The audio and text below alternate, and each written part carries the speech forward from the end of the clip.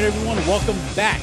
This is Solve for Why's vlogcast episode number 49. We are now one episode away from season's one finale. That will conclude season one, and there'll be a new show, potentially a new co-host, if I have my way. Hmm. Birkin will no longer be here. Mm-hmm. Maybe I'll bring Jungle Man. I don't know. I am excited for the end of the season. I'm looking forward to season two, as I hope you are. If you enjoyed this season, hit the subscribe button, like us, hit the little bell icon. You can know when we go live. Put up a new show every time. I will be streaming today. At this point, you have already seen my stream. Hopefully, I've already won a tournament, and that tournament actually gets to be completed because last time I streamed, I won the tournament, but I cut it off. Shit happens.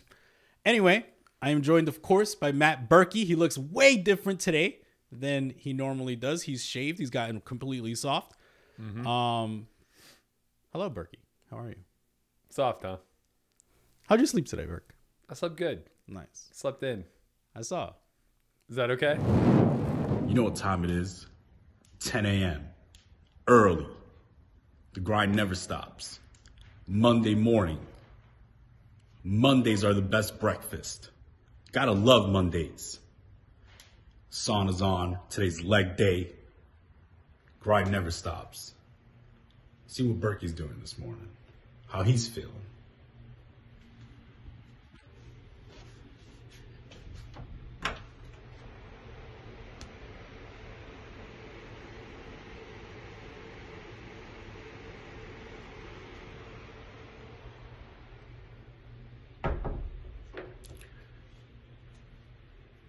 What's going on, man?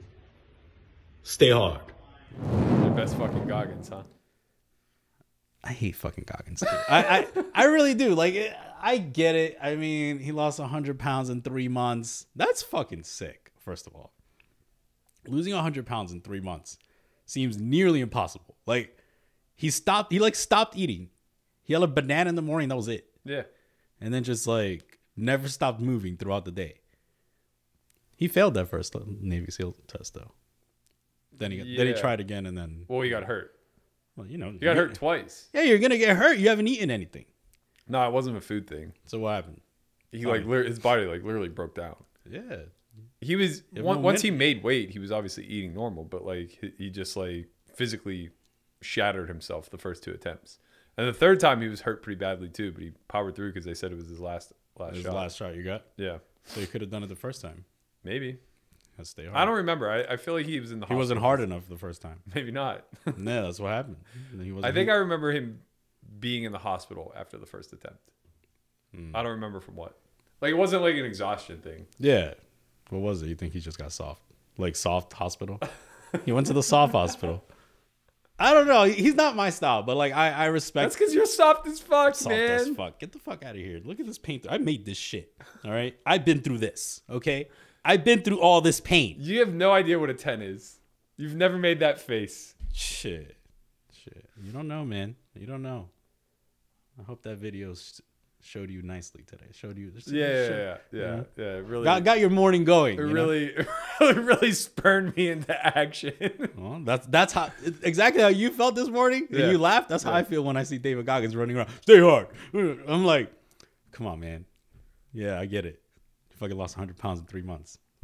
yeah, but like, it's not that he lost 100 pounds in three months. He's a premier athlete now. Yeah, This guy runs 100 miles in 24 hours with no problems. that's what's up, man. I uh, I commend him. You know, that's good. Whatever, man. It's not my style. Not my style. But I I I I, I like the fact that people find inspiration in him, and people like you What know, is your style? I like not having this like oh, I am just like a warrior and I have blinders on like this and like I get it. Like I think for yourself, you have to like ask like, okay, why am I doing this? Like what is my deep seated reason for doing this? And then answer that to yourself and that'll get you up in the morning. Like I don't maybe that's how Doc Goggins works, but like I don't see like it doesn't translate to me like how he just like gets up because he's hard.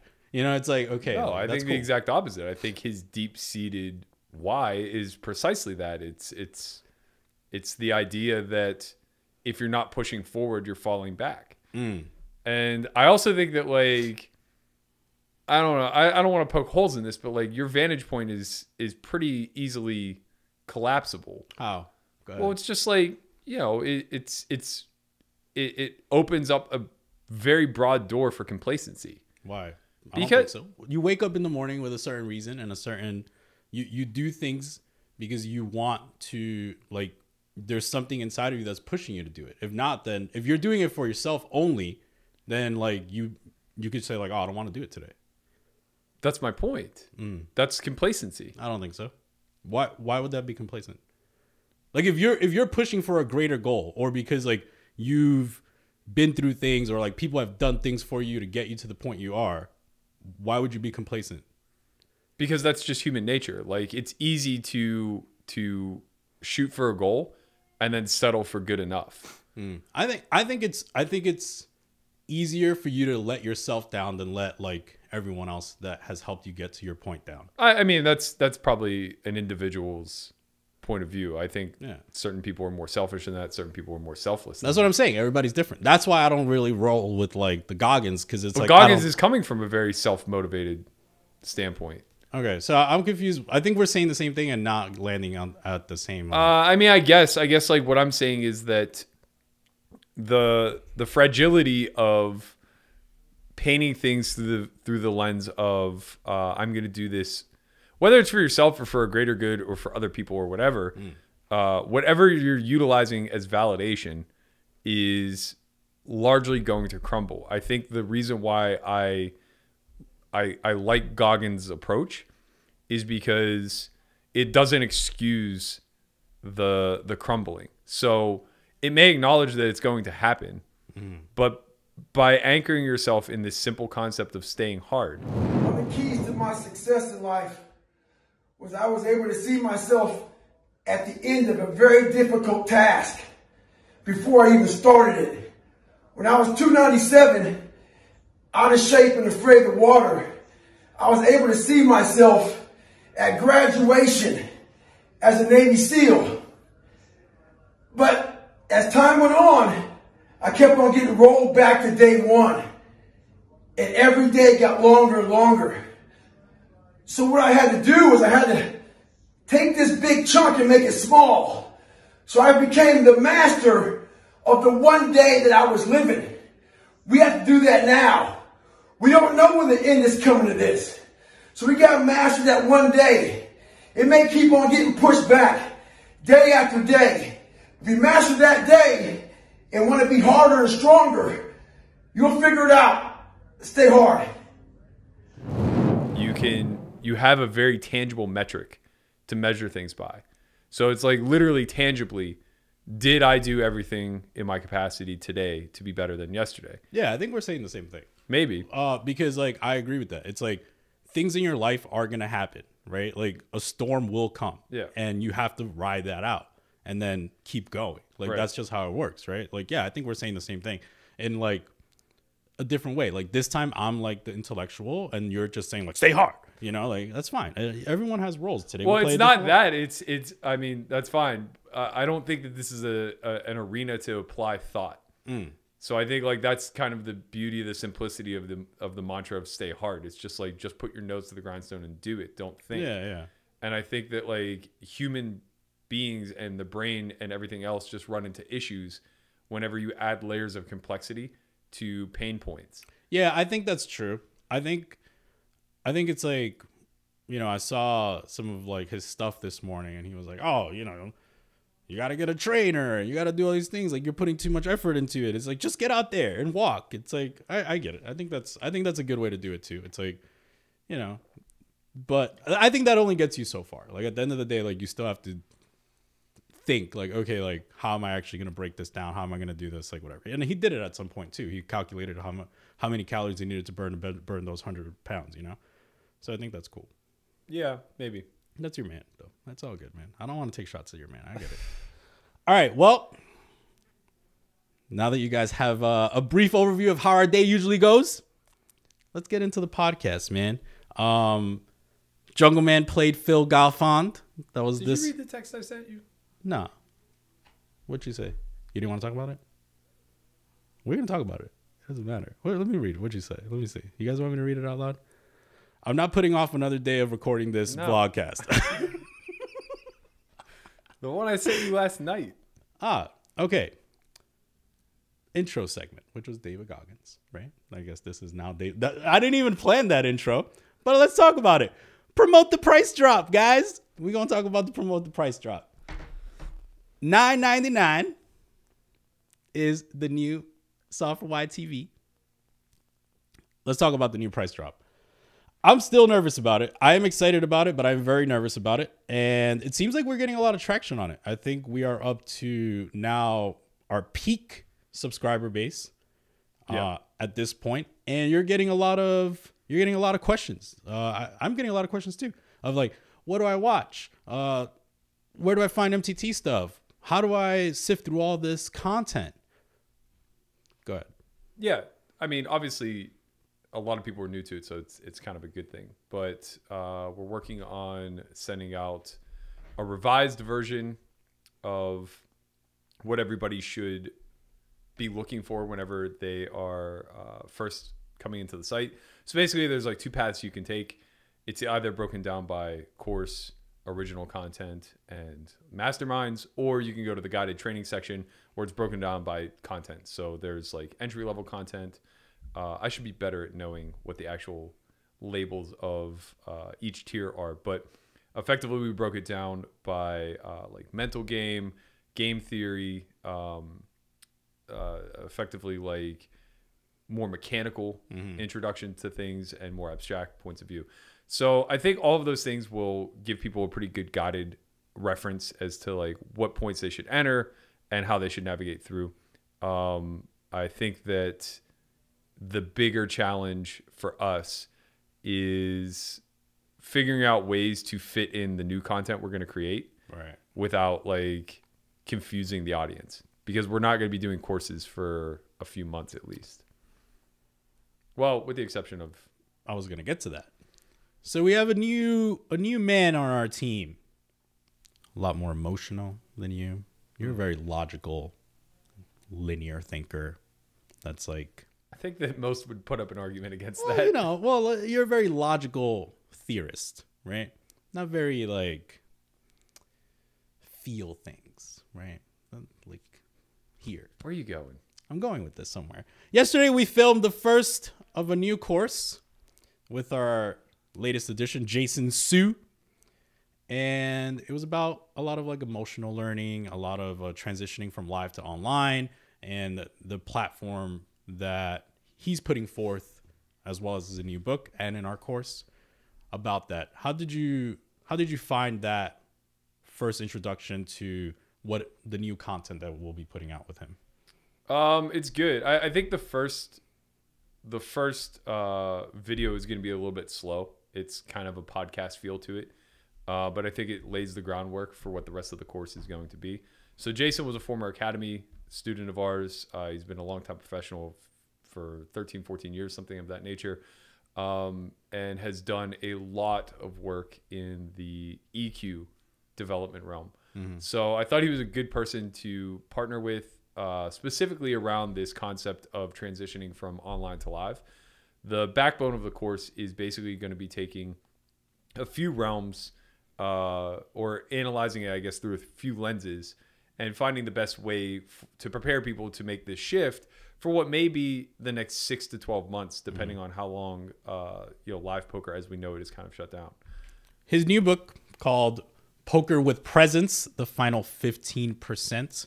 And when we spoke to him yesterday, he's really excited about the book, as well as he seems like as if if you're not at the top of the food chain, you are just like done, you know? Yeah. I feel like you've thought that also for some time. Do you still stand by that? Because a lot of people are still winning. Um, well, I think that's true for the long term. I don't share his same short term uh, urgency, I guess. Um, I do think it's very critical for anybody who's going to be shifting realms from live to online that they should have a sense of urgency of learning the new environment and really training themselves and calibrating to something that's so foreign. But I think long term, you don't have to be the absolute best in your realm in order to survive. You just need to be striving towards wanting to be at that level in order to Yeah. survive. That'll keep you far enough ahead of the curve, I think, that you'll be able to profit for a long period of time. But yeah, effectively, like, you know, even if you're finding pretty soft online games, just transitioning from live to online, there's going to be a massive hit to your win rate. Uh, you know, whatever whatever you were able to, uh, I guess, like perform at in the live arena, it's it's very likely to take a significant hit whenever you move online because you're going to be up against more technically sound players. Mm-hmm. So the ways that you were making your EV in the live arena just aren't really going to exist in online. And the ways that you were losing EV in the live arena are now going to be amplified whenever you transition online. When you say the ways you were winning winning EV live don't transition online, what does that mean? Uh, largely speaking, I think that people who are exclusively live players are pretty good at, um, I guess, like unconscious competence. So there's just a certain calibration that's taken place to their intuition that aligns with the arena that they're in. So they've played enough hands against certain player types or personalities or whatever the case may be to have a decent feel for what their frequencies are with certain sizes, on certain textures, on certain streets, uh, when pots reach a certain threshold. And they navigate those situations pretty fluidly, in spite of the fact that if we were just to look at it from a theoretical standpoint, they're making pretty big mistakes. So, largely speaking, they're exploitatively calibrated to the player types that they play against. Yeah. When you transition that into online, though, those exploits aren't going to work because the mistakes aren't anywhere near the same. It's not a one to one transition. And instead, a lot of those exploits are going to blow up in uh, the live player's face and cost them a lot of money due to the lack of their technical soundness. Yeah, one of the things that we spoke about yesterday was like all the people that we know to be like live MTT pros, just like posting like, "Oh, I won this on ACR. I won this on ACR."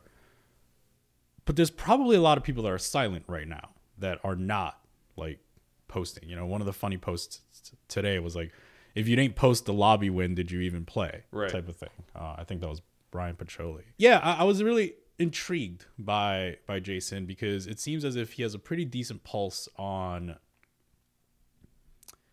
the general outlook of that people are kind of like turning a blind eye to. Yeah. Where it's like, okay, we're just gonna wake up and we're gonna play online and it's gonna be fine because we're pros and we've done this for 10 years and, and everything's gonna be fine. And then in 12 months, we'll just go back to Bellagio and it's everything's gonna be okay. Which might happen. But they don't account for, you know, maybe the 40% of the time that that doesn't happen. Right. You know, and it might be greater than that or it might be lower than that. But simple simple mathematics say that it's not 100% that it doesn't happen. Yeah, I think my biggest interest is developing frameworks for which our viewers can basically set themselves up for success, be that business uh, constructs where they're figuring out like what they can invest in the online realm, how much time they can invest, uh, you know, all of these things that are necessary in order to operate a profitable business, or be it uh, training methodologies where it's like, okay, well, I'm not so technically sound in these specific arenas, so I'd like to shine my attention now on figuring out how I can get better at these things that haven't been hurting me in the live realm. I think Jason is uh, a nice addition for the calibration process. So he's pretty good at striking a balance between poker IQ and poker EQ and demonstrating to people how they can get into their flow state, how they can spend a little bit more uh, energy and effort in pulling themselves out of a negative situation. I think all of these things are really critical, especially when you're caught in the online grime. You can just fall down the vortex where it's like you're four hours in, you're buried, you're not going anywhere. You have no idea if it's a good game or not. You have no idea if you're winning in this spot or not. You're just kind of sucked into the reality of you're not going to quit until you get even That ever happened to you? all the time. I hate online for that reason. Why do you wait? You spoke about this yesterday, actually, uh, a little bit, where was you were talking about like online. Sometimes it's a little bit better because you could go take a cold shower. Oh, But- yeah. but live you're just like stuck there. You can't you can't leave unless you go for a walk, which might Live is like, at least slow enough where like you can kind of stew and get over it Hmm. and like not have a hand in front of you. online is so fast that it's like it's really critical to have those environmental disruptors where you do something to change your physiology, right? Where it's just like your mind will gravitate towards whatever it is that you're hyper focused on. And if it was like taking a beat or uh, the fact that your session is compiling a bunch of shitty scenarios to you or whatever the case may be, uh, your brain will fixate on that and it'll steer down that rabbit hole. And the only way to really correct it is to change your physiology to give your brain something else to, to, to focus on. So, like being online, it's nice to just like recognize, like, okay, I'm not only am I like not locked in, but I'm the exact opposite. I'm locked into the wrong things. So I'm just gonna sit out. I'm gonna take a two to five minute break, and like literally something as simple as like taking a cold shower or hopping in the pool or you know doing uh, a couple sets of push up. Anything that's gonna change your physiology will get you back into a point where at least like you're somewhat clear minded. You look so different, man. You look like super high roller bowl Berkey. Like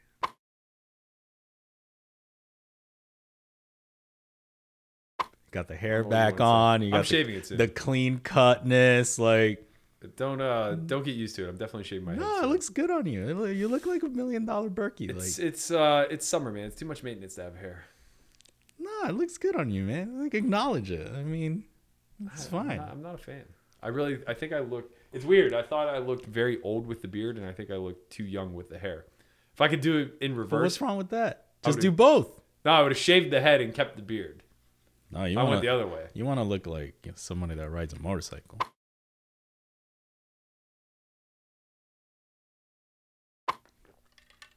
No, What? Those, that's usually what you they. should shave your head. Well, I'll do it for a price. I'll do it for a price, man. Everything has a price.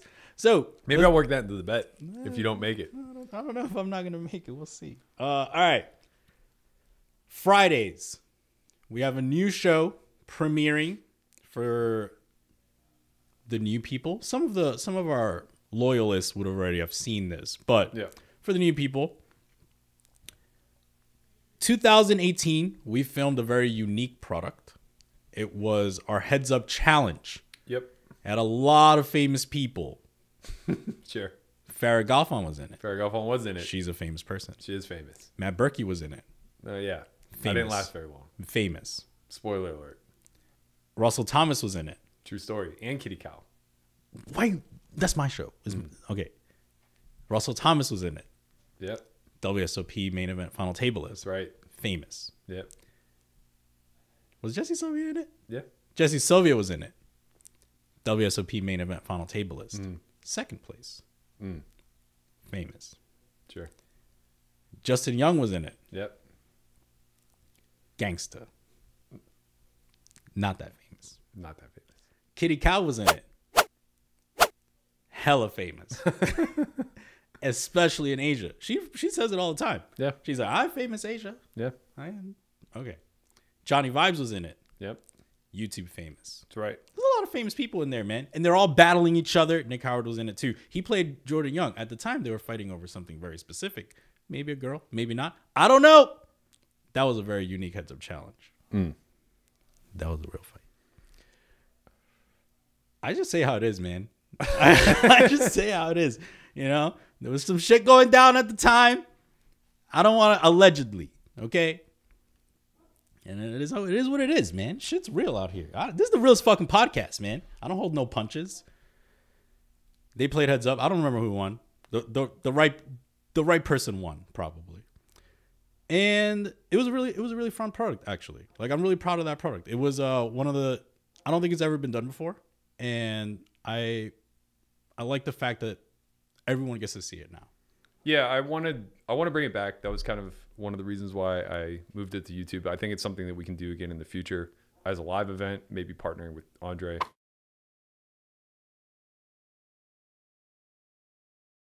Uh, we actually did partner with Run It Up for this one that, that we're about to launch. And what we're going to show is the actual uh, produced version that Pigtails created. So I think it's pretty cool. I think that it's something we could do again in the future.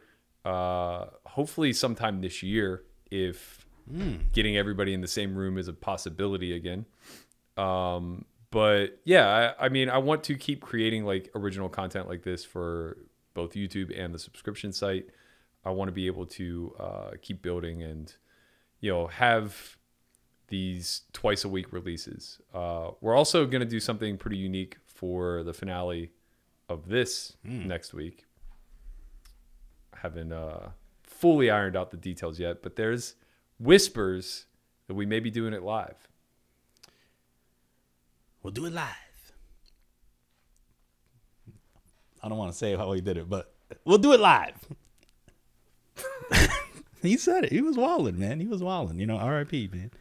He's, out. He's not dead. I know he's not dead, but he's he's he's, He's TV jobless. dead. He's Yeah, D- yeah. dead, TV dead. That's Yeah. what I really meant. I know he's not dead, dead, but like you know, Yeah. he's TV dead. You think Conrad will cut to that? Nah, probably not. Right? Hmm. That- That, that was me reminding him that he probably should cut to that. Sure. All right, good. All right, well, I also am looking forward to that. You, I'm forgetting some names that were in there, but there was also some, uh, uh you know, a survivor. Tyson. Tyson, Yeah. was in there, and then I believe there was also like a Twitch, like big name, big gamer on Twitch. I, I'm, I'm, her name is slipping. Yeah, she played Hearthstone. I can't Yeah. recall her name either. Yeah, but she was she was gangster. She almost won the whole thing. Uh, oh, sorry, but she does. She she she goes on to make a good show. Okay, let's talk about a new show that you have been working on. I see you grinding the lab at home, just like looking at old footage. Can't even see any stats. Can't see no chip counts, and you're producing a, almost a brand new show with chip stacks, with stats, with analysis, with graphics, with you're fucking doing play by play and analysis. Like, leave some of us with a job, man. God damn. Yeah, it's uh it's been fun. Um 2020 hindsight on PokerGo. Mm-hmm. It's kind of just like a flashback to old WSOP stuff. Um we let Pigtails get their hands on it Mm-hmm. and they effectively just turned it into detail from ESPN. So a lot of freeze frames, Wow. a lot of I mean that's kind of the template they followed, you, You know. know how you know how it started, right? Detail. Kobe. That's right. Yeah. R.I.P. Kobe, man. Go ahead. Uh, but yeah, it's a lot of freeze frames. It's a lot of uh, referencing push fold charts, ICM. Basically, just like taking a look back at what poker used to be through the strategy lens of 2020. So you, you think you think the show will continue and like will it be so for example like detail has evolved into you know Peyton Manning was doing it I believe at Yeah. some point uh so and that that became like a pretty nice a pretty nice product do you think that's something that can continue I know that there are you know some talks that you know after season 1 of 2020 hindsight the there could be another season Yeah. uh what do you think will that look like maybe it'll be some cash games do you think it'll stay in the main event vein what do you think I mean, it's kind of up to them, right? They have such a large library of past footage that they pretty much can pull anything. Um, but yeah, I mean, I would love to do it again if asked. Uh, if not, like I think there are a lot of other people who would do a pretty good job of it as well. nah man not a lot of people could do play-by-play and analysis at the same time you think nick schulman could just do play-by-play and analysis and be hyped? He's not hyped. Like he's super calm. Like he's like yeah you know ali it could go either way. Some of the best players there might check but he went for it this time. And n- n- nice pot there nice pot there you know? That's how that's how it is. I could do it man. I've been in the booth. Sure. Um, yeah, I don't know. I, I mean, honestly, like it's pigtails It makes me look good. Like the very first episode, they weren't involved, and I think that the change from Ep one to Ep two is absolute night and day. Uh, I'm really proud of like the product that they put out, and you know, worst case scenario, like we have a template moving forward where this is something we can do, less the the actual poker go footage. I would love I would love to see something with some cash games because I think that'll provide a very unique aspect. Um, you know, where it's like maybe you're reviewing some high stakes poker. You know, that seems like Yeah. like a pretty fun one. You reviewing some Durrrr hands. The old Poker After Dark would be interesting, uh, like the Poker After Dark cash games, Yeah. just because I feel like they were a little bit more talented than the high stakes. Ooh, wow. I mean, it's weird Shots to say. at Daniel Negreanu. Daniel Negreanu was in he- every season. yeah, but like He wasn't on Poker After Dark that much. I don't even know if he was on at all. That's what I'm saying. You see where you He was see. a stars guy. Yeah, but like my whole point is that. Uh, so the- you're saying the full tilt guys were like kind of way better. Just say how it is, man. No. Well, there was no. There was only Daniel on stars. Right. There was nobody else. I don't know. Not at that time. I think uh, Jason Mercier. Eventually, Mercier got Yeah. signed, but Yeah. like, we're talking about what 06 to. Yeah, it was probably a very small maybe? roster. Yeah. Um. Yeah, I don't know. Maybe I just have a skewed memory, but I just remember the the high stakes or the uh sorry the high stakes cash games being like pretty fucking out there. On which show? Poker Uh, After Dark. no, no, no. The On, High Stakes Poker. high stakes poker. Yeah. yeah. they were. They were. Yeah, there was a lot of good. You could tell they were getting paid by the hour. Yeah, yeah, they were getting a nice. They were getting a nice check. Uh, yeah, the poker after dark games, it, they were just dominated by Durrrr. A lot of Durrrr, Ivey, and uh, Antonius. That, Yeah. that was that was like a, right. That's what I'm saying. Those guys were very talented. Yeah, yeah. I'm not so sure that like, you know, no no offense to guys like Eli Elezra and David Benyamine and Brad Booth and stuff, but they were spots. You know what I mean? Like they Mm. were wild. Wow, wow, wow. Wow. Go ahead. Were they not? talk, talk, man. I'm just, you know, you said a lot of things this last two sentences. First of all, you said they were talented. You were like, oh yeah, they were very talented, and now you're like, these guys are spots. You're going hard I'm today, speaking man. in the past, so the the words is it, applicable. But it. like, yeah, I think they're the high stakes poker games, and it's like there were a lot of fucking spots. Mm-hmm. Like, you know, just on down the line, if you look at the old guard, there wasn't a whole lot of uh, what I would consider to be some of the best players in the game back then. Um, you know, I guess like Ivey played the high stakes poker games Mm-hmm. sometimes, and I guess Antonius was in there sometimes, who I think was very good. Uh, young Durrrr. young up and comers like Durrrr, Galfond, and uh, Galfond played only for like a couple episodes though. Right. Yeah. Right, And he got and he lost a lot. yeah. Yeah. So it's like outside of that, you know, we're really looking at like Brunson and Mm-hmm. Granu and Greenstein and A lot of Daniel. yeah, and it, I mean that's great. Daniel was definitely winning in those games for sure, but like Theoretically, because he got buried every season. Right. Yeah. But like, yeah, at the same time, like he specialized in MTTs and mixed games, Mm. so it's not like as if he was, uh, you know, mashing these fucking lineups the way that like a Durrrr or Ivey. well, or, there was a lot of Antonius also at the time. yeah, There was uh very splashy though, and like the spots were real spots. Like it was like Guy Laliberté, right, right, right. and like you know these these huge, huge, huge. so Brunson was probably crushing. Like he was probably like one of the better players. he was my favorite player at the time, and let me tell you, the the way he was crushing was sitting there waiting for kings. Yeah, but that's that's a profitable strategy. When, Sure. Well, you're if you open, you're going five ways. Sure, like- but it's not like much to analyze. But Yeah. like I feel like the full tilt games being six max and being a little bit on the younger side of things were a lot more competitive. Like, there was a lot of Howard Lederer though in that in those lineups well, th- those are the tournaments though. I don't know that he played a ton of the cash. yeah, yeah, maybe he th- did. Yeah, maybe he. There was there was a lot of Howard Lederer. There was a lot of Phil Hellmuth. But I think like Hellmuth was the spot in a lot of those lineups. Yeah, I mean, he kind of was. You know, you know. That's what I mean. Like to me, like seeing Ivey Durrrr and a couple other of the the bigger names actually being forced to battle, that's really interesting. Yeah, for sure, for sure. And, and I mean, even today, if you put that lineup on TV, like I'm tuning in. Like Yeah. if you put Antonius Durrrr and Ivey on TV today, Yeah. like playing, I don't care what they they could play 25-50. Like I'll I'm I'm watching, you know, because they're just so iconic, and and I still think you'll get some some like pretty out of line stuff and and pretty gangster stuff. So yeah, I mean, I think it will be fascinating. You know, I guess I'm pitching to you know the the poker heads, the poker go heads that watch this show every week, and and I'm telling them like, hey, I think there's a good idea. You know, Berkey's a high stakes cash game player as well as a high stakes MTT player. So season one could be MTT, season two could be high stakes cash. Seems fair enough, right? Sure. What do you think? Sounds good to me, man. But just tell them what you want. just tell him you want. Tell them what you want, man. I mean, I, I'm just I'm very open. Like to me, I just want to do good content. Mm. I, I don't have like this specific agenda that I want to accomplish.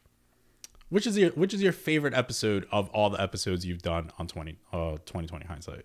It's not out yet, but it'll be the 2012 main event with Greggy, Jesse, and uh, Balsiger. Wait, is that his last name? Balsiger, yeah. Yeah, yeah, Balsiger. Uh, that three that three handed match is just like every hand matters. Yeah. It's really really impressive. There was a there was a, a, a moment in time where Balsiger took the chip lead three three handed. It was very it was very small, but it was a there was a small moment in time. I remember that very well. I think It was. It was. It wasn't the chip lead. He got the second at chips. Hmm. all right. Well, you know, obviously it was Uh, very he du- yeah, he was he wowed out like right away with Ace Jack versus Jesse, who had kings, and Balsiger like three bet Jesse flats, and then he just like goes off on a nine high board twice, and Jesse kind of cripples him, or not cripples him, but like takes uh like a third of his chips, Mm-hmm. and Jesse padded his chip lead, um, but then shortly thereafter, uh, cooler came up where Jesse had nines and Jake had jacks and fully doubles through Jesse, putting Yeah. him second in chips. Greggy still being a pretty big chip leader. It was Greggy's year, man. Won the six max, then won right and won the main event. It's hard to do. Very hard to do. 10k six max doesn't even exist anymore. He'll go, he'll go down in. Benba uh, did something similar 2011, the year prior, just the year Yeah. prior. Won the 10K six max and then gets third in the main event. It's different though. Winning, winning is just different. I guess, man. I don't know. It's Benba- just different. man. Benba's 2011 year for player of the year was one of the most impressive runs that I think I've seen. Yeah, he's a good. He's a, he's a good dude. And then Greggy just like kind of makes it look less impressive by doing the exact same thing the following year. because he won. That's the difference. Well, right. you got to like, win the main event. Nobody remembers second. Stay hard. Nobody remembers. Sure. Okay, like either you're a winner or you're a loser, But, Berkey. but I don't think you remember Benba's year. It was I don't remember. I was barely in poker. It I was remember, one year prior. Yeah, but like it was different. Okay, I'll tell you why it was different. Right when Russell Thomas made the final table, it brought like a whole new group of of like young kids because Jake Carver was involved, and Jake Carver brought all the run it up warriors to watch everything. That's how I met That's you. That's your experience, maybe. There's probably a thousand kids like me that just Maybe. like, bro, you don't understand Jay Carver's power at the time I mean, maybe, but you have his to thing remember. was his hit that show that you that you guys made where you were like poker enthusiast. Remember that? Final table, yeah. And that's what you said. You're like you're a poker enthusiast. That was your line. Yeah, it was funny. It was alright. and then that was on national television. That was on ESPN. Not my episode. Not your episode. but like but like they they they cut like little little Yeah, things yeah. And, and they put it on ESPN. That that was a big deal. There was a huge following behind Run It Up there. So that's why Run It Up wasn't even a thing yet. Yeah, it wasn't the no, was it? No. Wow, it was just like a. It was just like Jay Carver. Mm-hmm. Like just follow Jay Carver. Yeah. Yeah, he, I think it was a year prior to Ultimate Poker being a thing. oh yeah, yeah. It, was crazy because Jay Carver made a deep run that year too, and then that's how they got together, and then Yeah. um and then brought you into the mix. You know, Yeah. playing- Benba got like somewhere between first and third in the PLO high roller, which at the time I think was a 10K, but it may have been a 25K. Max late reges the 10K six max immediately thereafter, wins it, and then runs deep in the main event and gets third. Those were his final three tournaments of 2011. Maybe he was stuck before that, and then and then just like crushed. Impossible. I mean, he was And like- they were huge back then. Like winning the 10K six max was a million dollars. Now winning it is like 350K. It doesn't even exist anymore. Yeah, 10k six max. It does. I thought they changed it to 5k. No, There's a 10k. there's both. Oh. There's always been both. Oh, okay. I never played the 10k six max. You know. Play it every year. Don't do well. Well, you know, whatever. I thought you were gonna say. So is that so? That episode with Greg Merson is that episode number? Which episode number that? It'll be the last one, six. It's not Okay. out yet. So as So of the next as episode- of this podcast coming out, uh, five or Four. My notes Yeah. say Berkey. Yeah, yeah. cut to promo episode four. episode four will be coming out tomorrow. Here you go. Right. Thank you. Yeah. What do you? Okay, so what do you think about? Like, I was listening to uh, Eric Thomas yesterday on my, uh, you know, hit. I was doing some hits Mm-hmm. yesterday. You know, thirty on, thirty off, and Speaking of hit, I want to start boxing. boxing. Like just just as a training mechanism. I don't actually want to box. But I used to kickbox in high school and it's a fantastic workout whenever Yeah. you have somebody who's a good trainer. Uh, you did like what, like Club KO? I don't know what that is. That's no, trash. I literally That's trash. I literally uh, was a member of a gym that was in a fucking basement. This is no joke. It was in the basement of a department store. It had like the like when I say this is a dungeon, I mean it was a fucking dungeon. It had like a swinging light to fucking light the gym. Man, that's where you build them, though. That's where you build those hard people, though. Yeah, yeah. The, the the owner of the gym was a former Green Beret. He was like five foot six, just pure and utter chiseled redneck. Hmm. His name is Art Wiggums. Art uh, Wiggum sounds crazy. Yeah. Full full flowing mullet. I mean like just a mullet like you've never seen before. Just the the hickiest white guy you've ever come across who would fucking end your life if necessary. but honestly, he was like the coolest dude on earth. Like obviously wasn't going to make money from the gym. Our town was 2000 total people Yeah. but he he recruited like all the high school kids down there. He would run kickboxing classes like at like 4 p.m. after school, a couple days a week, and he would never ever ever push anybody to do it. Right? Mm. Like it took me forever to start getting involved. He just every once in a while I'd be like, "You want to hit the bag?" It's like, "Nope, not at all." All right, fine. And then you know every now and again he'd come back, he'd come up with the pads and just like you know bop you in the head a little bit, and you get a little pissed because you're seven inches taller than this guy. You ever done any like any sort of fighting, like trained fighting? No. It's fun though. I, I've done I've done a little bit of like MMA. It's it's it's a fun it's a fun environment. It also like builds a little bit of uh I know you're b- big into the building of character, you Sure. know. Yeah. Um it, it builds something because like you really suck at first. Like you really you really fucking suck and you get like your ass kicked. Yeah, Um, yeah, like- yeah. With like kickboxing, it was it was humbling to like not have the combos, Mm-hmm. and you know the he he's obviously an expert, so like him holding the pads, he runs the risk of you missing the punch and hitting him, Yeah. and like he would just swing back, like with the pads. You know, it's like you threw the wrong combo, he'd just bop you in the side of the head, and like you would learn the hard way pretty yeah, quickly. Yeah. No, that's pretty cool. That's Yeah. pretty cool. Yeah. Um, I did a little bit of uh, like some MMA and like a little bit of like rolling and jujitsu and stuff like that, as well as like a little bit of like boxing and stuff.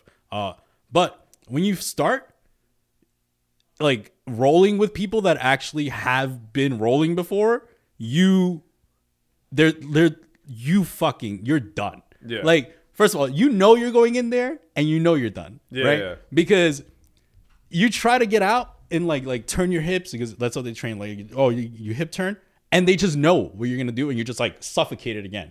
And then when you have like a big fucking guy that's hairy on top of you, sweating, and you can't breathe, it is the worst feeling ever. Like you want it to just end. Yeah. Right?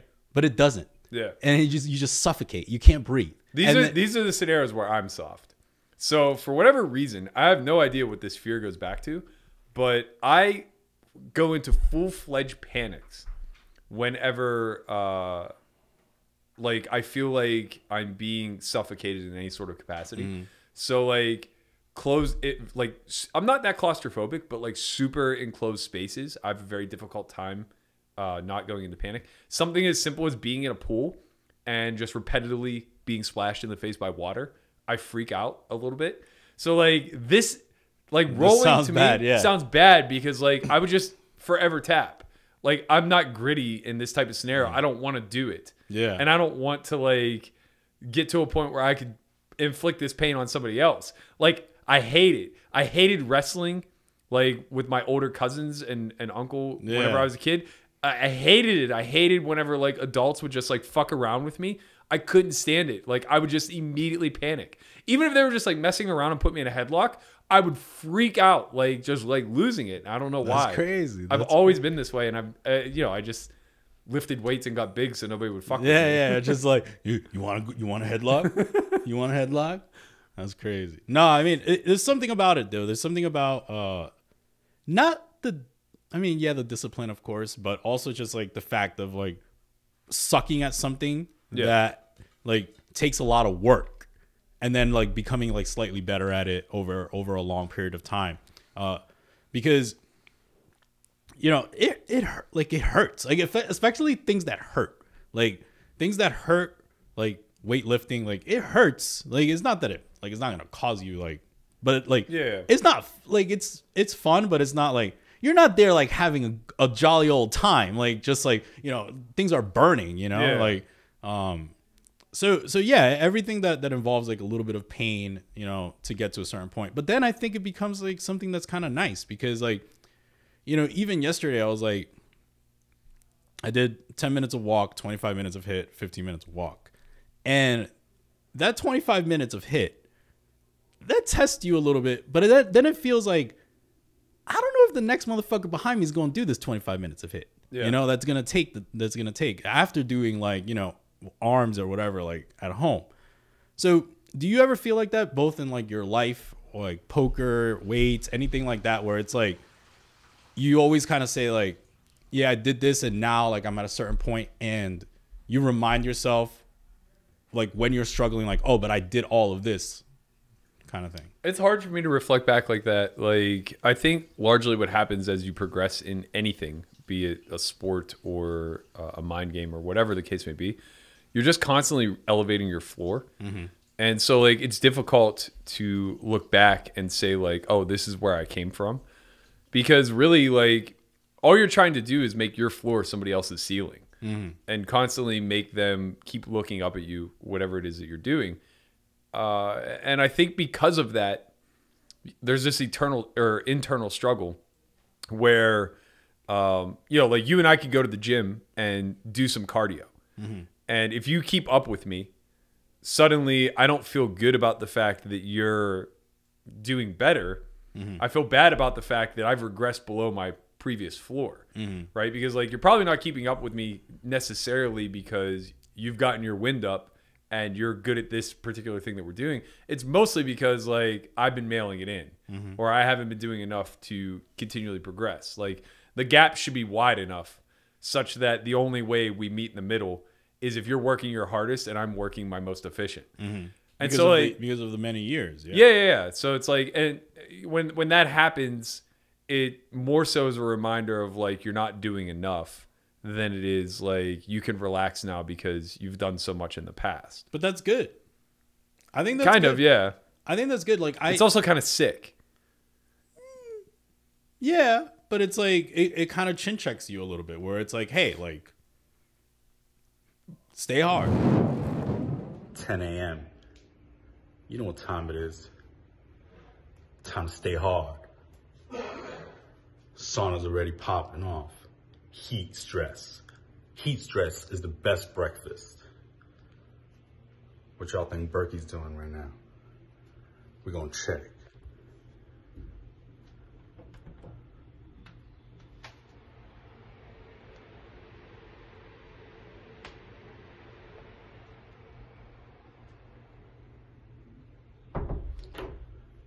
Berkey's still sleeping. Stay hard. Get in the sauna real quick. Heat stress is the best breakfast. Hope you're on the other side of the pillow. Stay nice and cool, darling. Yeah, but it's like this. It's this. Don't get me wrong. I think it's a good framework to operate from, but it's also like this.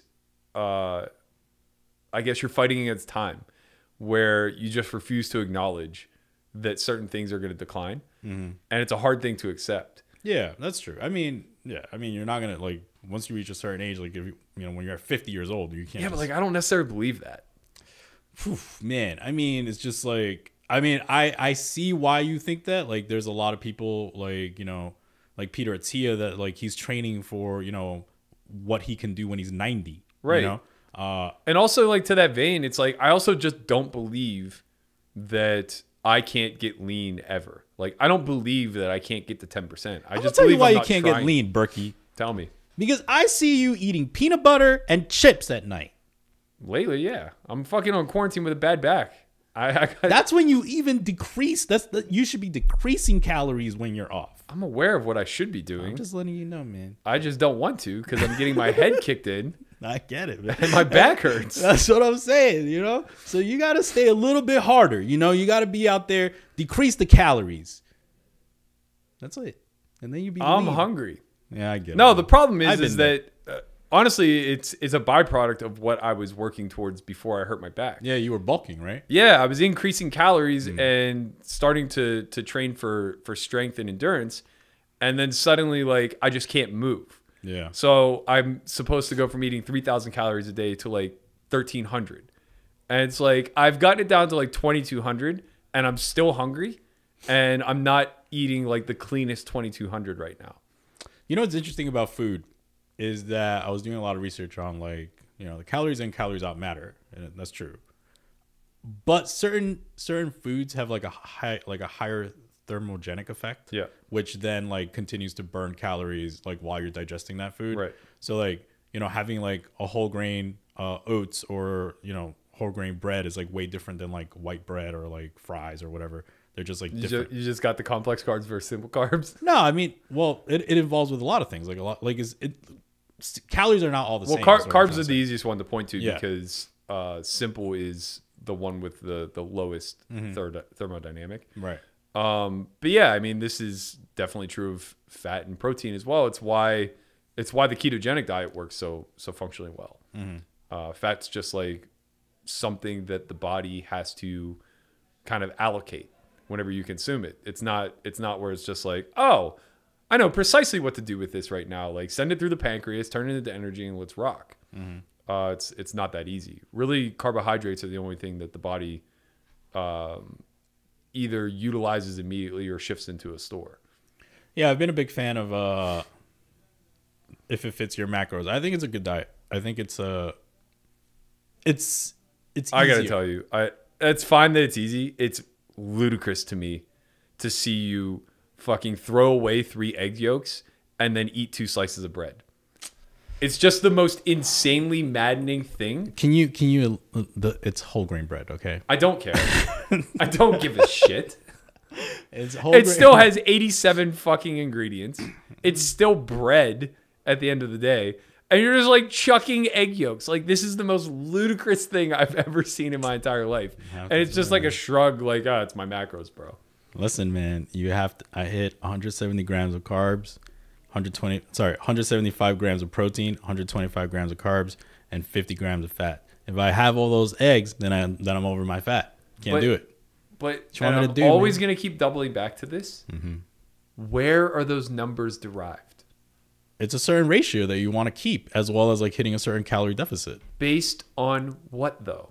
Like what my average uh like maintenance stage would be, and I have to be under that. But the, the, you understand that something is generically being applied to your specific scenario. What do you mean generically being applied to my specific scenario? Okay, so yeah, So it's a generic template that is being applied to you specifically. Those two things don't coincide. why do you think it's generic though? Because if I were trying to accomplish the same goals Mm-hmm. and went to your same guy, he would give me the exact same template. Not necessarily. Yes, he absolutely would. Why? Because you can't tell me where these numbers are derived from. Well, we get like okay, we just play. You, you play with the numbers in the beginning. You're just like, okay, are you losing weight under these? Not, or are you maintaining weight? But that's these? just calories in, calorie out. Weight weight gain and loss is simply going to be a calorie deficit. yeah. So you maintain a calorie deficit. Then what? I'm asking you where the macro breakdown is being derived from. You're Why is it 175, 130, and 50 instead of just even across the board? Or an influx of fat as opposed to protein, or an influx of carbs? As, as I don't know. That's why I pay people. For this is the point that I'm trying to make. why would I care about that? Because you're I being just- because wanna- I'm arguing you're being duped. You're throwing away egg yolks to eat bread I'm throwing away egg yolks because it has to fit my macro. based on something that somebody who's unqualified is telling you. but why do you say they're unqualified? Because he's giving you the same template that he would give anybody. that's not true. Yes, it is true. If you go to a trainer who knows very little about nutrition but knows something more than anybody else and say, My goal is to lose fat and gain muscle, he's going to say, Okay, I want you to eat 60% protein, 30% carbohydrates, and 10% fat, or 25% carbohydrates, 15% fat. Okay, and what's wrong with that? It doesn't mean anything. It's not derived from any science. But uh, who knows? Maybe it is derived from science. I don't know. I haven't done that research. It can't I don't read the science papers. right but it can't be it can't be derived from science because you can't generically apply anything to the human population nutritionally Okay. outside of the fact then you- you outside of the fact that there's a difference between clean macros and dirty macros Okay. Mm-hmm, that's the one thing we can universally apply that there is a significant benefit to eating whole food Mm-hmm. as opposed to synthetic food Yeah, I agree. that's with like the only thing that we really know at this point that. So. Then how would you? Okay, so So you- my point is, so at the were- end of the day, if that's the only thing we know, Mm-hmm. and we're exchanging a whole food like egg yolks for synthetic food like bread, To me, there's a fundamental problem. or oats. But yeah. Oats, oats would be different. That's not synthetic. That is a whole food. But still, uh, the exchange is my problem. Mm. I don't see any reason to be throwing away a part of a whole food and then exchanging it for something else. So what if it was like potatoes instead of the? Then you're fine with it. I would I would be more fine with it because at least it would be a reasonable uh, exchange. But my my bigger issue is just that like there's no way there's too much fat in six eggs. That's not hitting your 50 grams for the day. But then I can't have anything else. But what the hell is the, the anything else? Anything. Like anything that you might have during the day, like maybe some meat that has some fat in it. Sure. So like you might go over your 50 grams now. I, I think it's pretty improbable to go over 50 grams of fat having eight ounces of meat and six eggs. No, you do. I don't think, man. Yeah, man, you do. Eight ounces of meat is going to be sub 20 grams of fat. No, Okay. I've been grinding the fitness pal, man. It's gonna go. You're gonna go over like that. How many, how many, how much fat do you think is in eight ounces of meat? All right, man. I would say- you're making me do it. Okay, I'm pretty confident that like eight ounces of bison is 24 grams of fat or fewer. Bison, bison's special because it's lower, but it's all just- the same. You can always get the same ratio. If you get ground beef, you can get 90 10. all right. Look, I'm gonna do six eggs. I'm gonna tell you how much it is. I know how much it is. Go ahead. It's It's 21.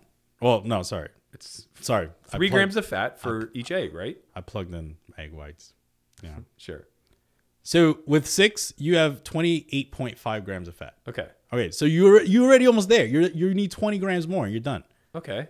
Okay, so like I like to give myself some flexibility throughout the day. But- isn't that that's good? But 22 gram 22 grams of fat, 28.5. right? Plus another 22 from whatever other source you choose to consume. Right. That's going to be about a serving of meat. Okay, so that's good. Right. So that's that's the whole point I'm getting at. If you're throwing away half of that fat, where now you're only eating 14, where's the excess 14 coming from? And Mm-hmm. Everything also, else you eat, to, that's one meal. there isn't You're fat, having like four meals a day. isn't in a lot of things outside of animal products. I don't know. I somehow hit 50 grams every day. Right. And that's what I'm trying to say is like how much of it is coming from clean stuff as opposed to uh, Quest pizza. No, like uh, you could have. First of all, that Quest pizza was very good, and I only had it once, and you had half. Of It was very good, okay. but it's not something. Shout out to would, Quest Pizza. If you if you want to sponsor us, send us some Quest Pizza. I promise I will eat the fucking I'm pizza right even- here. Listen, I'm not even criticizing the the way that you eat or anything along those lines. What I'm getting at is Ah, it doesn't sound like that at all. I'm not. I'm being critical of of where it's derived from. Mm-hmm. I think it's very important to have some sort of conceptual why because the whole thing is like if you're willing to be a test dummy, fine. That that's fine. But what feedback loop are we measuring by? Results, man. That's it. Right. Right.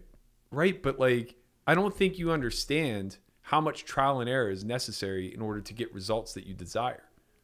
Everything's gonna have a trial and error process, right? But how long how- long are you willing to stick with a diet plan and a training regimen before you have to have X results? And what are X results? I am not qualified to do that. I let the people in charge. So this to is what I'm saying. Right? You- if they're saying okay, But this is what I'm saying. every week, you your have weight to be is- qualified but why? because you are the one who is seeking the results. Yeah, but if if if everything's going as planned according to the person I'm paying, right? Yeah. It's like, okay, you're hitting this metric. Good. Okay, these pictures look good. Improvement. Good. Why am I going to change it? Well, you understand that he's paid to tell you that these things are good. No, just tell me if they're not good. Why would it's fine if it's not good. If, he I see if, if, he I tells you that they're not good and you've been doing what he's been telling you to do, then we do, just change the strategy. that's on him though. Yeah, that's fine. I'll be like, okay, let's change the strategy. Like it's fine. Why would he want to do that? Because Why wouldn't he just want to commit to 20 weeks of you doing what he perceives to be correct and then reevaluating then? yeah, but that seems like you have like at that at that point it just seems like you have an untrustworthy person. But that's what I'm getting at is that fitness experts are untrustworthy people. Yeah, but They don't know what the fuck they're talking about. Almost everybody. That seems a little unfair. No, it doesn't. It would be like saying like, oh, like you're a poker coach, and like all of a sudden it's like, oh, well, if if I'm not winning, The vast like, you know- majority of poker coaches are certainly unqualified to teach. That's fair. That's fair. The same applies to fitness. Just because a guy is able to trim himself down to get into bodybuilder competition doesn't mean that he can now extrapolate that out to you. I feel like who hurt you, man? Eh, like who hurt you? My problem is Like- my problem is that people claiming themselves to be experts based on the fact that they had own personal success. Like I think a great example. But like what? Okay, like what then would be uh, like if you if you have personal success and you have clients that have had success and you have a strategy and that strategy is working what like what Who else do you, want Who would you rather trust? Somebody who's trained to be a bodybuilder or somebody who's studied in in the science? ideally both of course I don't think both at all. you rather have I would want the bodybuilder to coach me Mm-hmm. And to ensure he was my accountability partner, mm-hmm. but it's not even remotely close. I want somebody to run a plethora of tests on me and tell me what's optimal. yeah, I want Peter cool. Attia to give me my diet regimen. I Mm-hmm. don't want Jay Cutler to. Mm-hmm. Because what the fuck does Jay Cutler know about me? yeah that's true right? Mm-hmm. So it's it's the same thing. Like if I was going to if if I were a professional baseball player and I needed help with my swing, I don't want Barry Bonds. I want Barry Bonds as hitting coach. yeah yeah I see what you're saying but Barry Bonds would be pretty good No, he wouldn't. I don't know man No, he wouldn't at all. He wouldn't be able to help me at all. This guy has eyes like an eagle. Mm-hmm. He can't relate to me. He doesn't have the genetic failures that I have. so what you're saying is like most people in the industry are just like gifted Yes. and they don't They're, not- leaning into their strengths. Mm-hmm. And they've had a myriad of other people who are able to relate to their strengths and train them up. Mm-hmm. This guy doesn't know you from Adam. You're communicating via email or whatever the case may be. I don't I know. don't know, man I think it's going well Of course you What- think it's going well. what do you well. want me to say? Of course you think it's going well. You're paying for it. You have to think it's going well. You no have to but realize. I don't care about the money I know you don't, but my whole point is that that's part of being committed. You have to realize that if this guy's operating a good business, Mm. he has 50 people just like you. no he doesn't How do you know? because I know the roster So it's two people? It's like five people It's just he literally only works with five people and he Mm-hmm. pays his bills. yeah he has another job Uh, This is what I mean. Like, I, it doesn't make sense to me. Like, why? Why would there be this high level of commitment without any other like layer of information? Like, the whole point I'm trying to get at is all he can do is guess, no matter what. He has no other information everything is available. everything is a hypothesis, right? Everything is like this is what your this is what your basal metabolic rate is. This is what we need to cut. This is the strategy. Like that's all. All you're gonna, you're always going to be testing, right? Your BMR is going to be variable though, based upon what your your yeah, like your, environment yeah, lifestyle exactly. is. Your training and like and yeah, of course. Yeah, your your your hormonal pattern, everything that is, or panel, everything that is going to be kind of variable in nature. So yeah, you have to constantly be testing and getting getting Mm-hmm. responses there. But the point is, is that I don't know this guy's background. I have no idea who it even is. But if he's not qualified in the realm of being a dietitian or kinesiology or uh, you know has some deep level of understanding like if you told me your bmr i'm not qualified to do anything with it and i know a fuck ton about nutrition and fitness it doesn't mean anything to me i'm not a scientist in that realm so like So you think you need a scientist? i think you need somebody who specializes in being able to analyze that data and do something with it Yeah, but you don't need a fucking scientist. no like but you need a you need a proper data analyst and i don't think that anybody who's a I think we need to go back is. to the David Goggins. You know, you just fucking go, man. You just go. Now you want to get intellectual with it. No, but that I agree with. And if you just go, you're not being so nitpicky that you're throwing away egg yolks. No, no, no, no. You have to. You have to. I see what I see. That was a nice trick. Okay, that was a nice. That was a nice fucking trick. Okay, It wasn't a trick at all. Listen, you follow the strategy. If the strategy is not working, you move the strategy. So far, the strategy is working, so we're gonna keep moving. And then The once I hit- problem I, have with following a strategy blindly is whenever it's not developed out of anything tangible. but that's not. It's hard. A Think lot about- of people think- follow these. A lot of people follow these Right. that are very successful. Right. And by sheer volume, there will always be outliers who would succeed in spite of the strategy. why do you think it's outliers? Like, okay, every every okay, so like Because look, I've played poker for 15 or 20 years and I see exactly this happening. Mm. People following a bad strategy where they're talented enough to be the outlier and still succeed, or they're lucky enough to have variance hit them. I think it's hard to say that it's a bad strategy. I think we need to do more research, see if it's a bad strategy, right? It's like But it's this like, is where I'm coming from, from my vantage point of having you know 25 plus years of testing. Mm-hmm. You're going to arrive to a point where it's just like fuck. Now I realize this test has failed, and I don't know what to tweak. Hmm. And now I'm going to trust this person who also doesn't know what to tweak, but is presenting himself as an expert, is going to give me a suggestion. Do you know how many suggestions I've had from experts throughout the years of do this differently, do that differently, do that? None of them work hmm. because I need somebody who's qualified to say, like, okay, Here's how your blood panel breaks down. These are the areas that you're susceptible. These are the areas that you're actually talented. Hmm. These are what we can steer into. These are what we need to avoid. And here is a, a breakdown of some sort of plan of attack mixed with nutrition and fitness. And whenever you find that person, you'll realize it's never as rigid of eat these macros, eat this calorie consumption, work out this amount every single day, yada yada yada. Yeah. It's so much more broad from the strategic standpoint and fine-tuned in the element of performance. Yeah, I don't need broad right now. What I need is Well, you you crave the structure. I need to just have what I could have, understand that th- that's what I can have, work out, and then maybe later I'll find Peter. Peter, Right. too. Maybe he'll come in. what in I'm life. afraid of is what we were talking about on the onset of this is that that mind mindset of blind faithfulness leading to a point of either plateau or complacency where it's like okay I followed this rigid schedule for 16 weeks Mm. and now here I am 4 pounds lighter and no happier than I was prior I don't know about four pounds. We're supposed to be losing about 1.5 pounds a week. Okay. So so say you do, say you don't. The whole point that again, that like that to me again is another perfect example of how unfounded this this methodology is. Because like sure, if you want that to be your average, that's fine. Yeah, it's a certain, it's a decent average. But that's not how it works. But why not? If you lose, if you're if you're at uh, at the end of the week, roughly right, th- like the average, you'll have high days, low days, and you've lost. You're at a 3,500 calorie deficit. You should have lost a pound. No. No. Why not? Because that's not how the body functions. People who say that, I would immediately disqualify as a snake oil salesman. The- But a the- lot of people say the, that. Right, and they're wrong. The person who says a pound of fat is 3,500 calories. David Goggins said that. I don't care. He's wrong. He's not a nutritionist. I would never go to him for nutrition advice. Okay, but I would then- go to him as a motivator, Okay, so then who? but he's dead wrong. So that's how does- not the science behind it. okay. So how does it work? The the way it works is the body is a very very very complex system. And it's it's just like poker. It's very chaotic in nature. A small change in the beginning doesn't necessarily equal a small change at the end.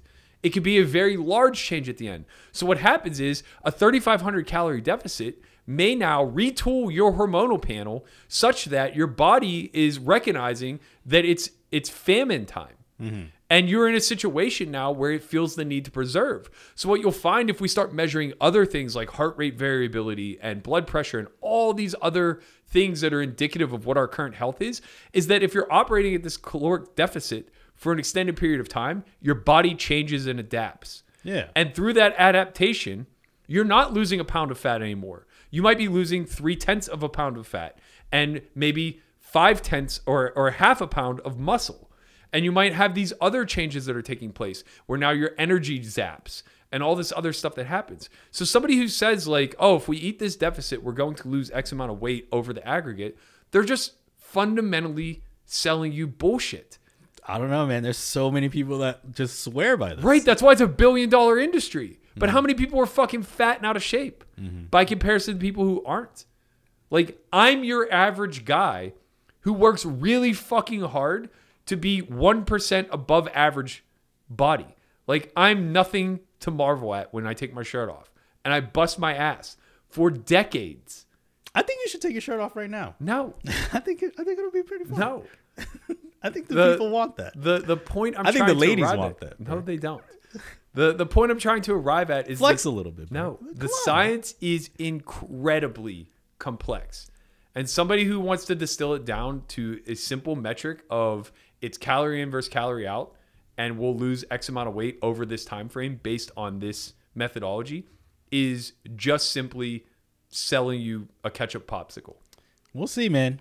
I uh, I like where it's at. I think it's fun. I, I know think, you do. I think it's good, and I think it's good, man. I think it's fucking good. I I don't I wouldn't even care if you continued to follow the ru- routine. What I care about is that you're buying into the misinformation. I don't know it's misinformation, man. I see a lot of really, really good people following it, and we'll see. I think that it's I don't fun. know what that means. But Like, I, like, I I, do know what I do know that if you reach out to Rhonda Patrick or Peter Attia or somebody that you consider to be an authority on health and diet and nutrition and fitness and ask them if 3,500 calorie deficit e- equals a pound of fat loss, you will get a very eloquent no. Well, it might not be a pound of fat loss per se, but a pound. It could be anything. Who knows? I'm not sure. you could lose a pound of water weight without ever being in a caloric deficit. Right, There's. Mm-hmm. so many things in this system that are are intertwined that aren't as simple as just eat less. Having a little bit of water probably gained 0.2 pounds right now. Probably. That's fine though. Also, your goal is not weight. I know, man, but it's fine. You have to also lose. You have to lose the weight too. Have to lose have the to weight. convert the weight. have to lose the weight and convert the weight. I think it's fine. I think I'm doing great. I think you are doing great. I, I don't want to shortchange you from your progress. I, I'm just saying that I think that Feels like it a little bit. no, but it's I fine, this is a complete and utter attack at whoever is giving you information, Nah, not man, you. He's a good person, man. I I'm sure he's great. I just think he's very underqualified. I think you're getting the it's Alec, fine to be underqualified. I'm gonna keep paying him. This I think you're getting the Alec Torelli of personal training. Nah, man. Nah, don't do that. He's a good dude. I like it. It's cool, man. Okay. You're just a little jealous. You want to train me? It's fine. No, I don't. Uh, God, no, I don't. I really don't because like you're you're so obsessed with the the bodybuilder.com mentality that like I want nothing to do with it. Like the things that you regurgitate You know what? are like next listening week I'm gonna come in with a little fucking watch too. You know? Let me see that watch. What you got? This isn't a watch. Yeah, a little little. uh, wearable. Oh, what is it called? wearable technology. I'm gonna bring a little watch too, and it's gonna have a little heart rate variability. It's gonna have all the stuff. You know how many calories I've done today. You know. These things are important. yeah, I'm- I'm gonna get it. I already have it. It's, it's coming Saturday. Delivered to the house. What what's the name of it? Apple Watch. Oh. So it doesn't have heart rate variability. I don't know. It, has a lot. It has the stuff I want. You don't know what you want. I don't know what I want. You're not qualified to know I- what that's you what want. I'm, and then I'm gonna be in the group. Is gonna be me, Max Silver. We're gonna talk about our health, and we're gonna be good, man. We're gonna be fine. We're gonna be fucking fine. All right. And then you're gonna pay me twenty five thousand. I'm gonna be like, oh look, this is what I, I, I made from my trainer. abundantly confident that I won't be paying you any all money. man. That's fine. We'll see. You know. All right. Well, I hope you all enjoyed the show. There's a lot of different topics. We went from uh, a 2020 hindsight to high stakes poker hand reviews to detail. Berkey thinks he's Kobe Bryant now, and some health stuff. I hope you all enjoyed the show. If you have any comments about if it fits your macros, keto diet, sauna, Berkey's arms, anything you want, leave a comment below, subscribe, like, and we'll catch you next week for the finale of the Solve for Why Vlogcast. It'll be a fun show. It'll be alive, allegedly. I'm not sure. I'm scared. But, and then after that, there'll be some announcements for season number two. Good night. Stay hard. We out here in the sauna, 10 a.m. No breakfast. Sweating is the best breakfast. You think the grind stops? No. Still grinding multiple tables while sweating. Berkey's still sleeping. I hope you turn to the cool side of the pillow. Stay hard.